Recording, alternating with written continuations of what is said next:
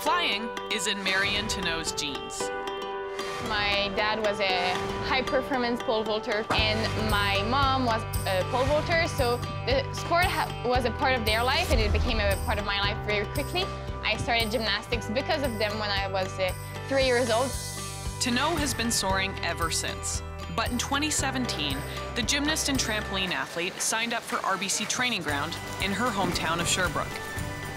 And through it, found a sport that had not been on her radar at all.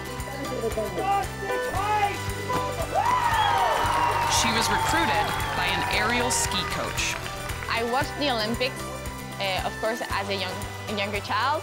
So I remember seeing aerial skiing on the TV and thinking I would never do this because those people are crazy. Because when you watch the jumps, it's just insane. After her first week, Thenault realized there was no turning back. I remember it was a four-day camp, and yeah, it was so nice. The atmosphere struck me. I was always in the gymnastics gym for 14 years, and now the people are training outside, there's music, everybody's having fun. So yeah, the vibe was insane, and I think that's a little bit how it hooked me. Thenault worked to improve her skiing and has been jumping and twisting ever since.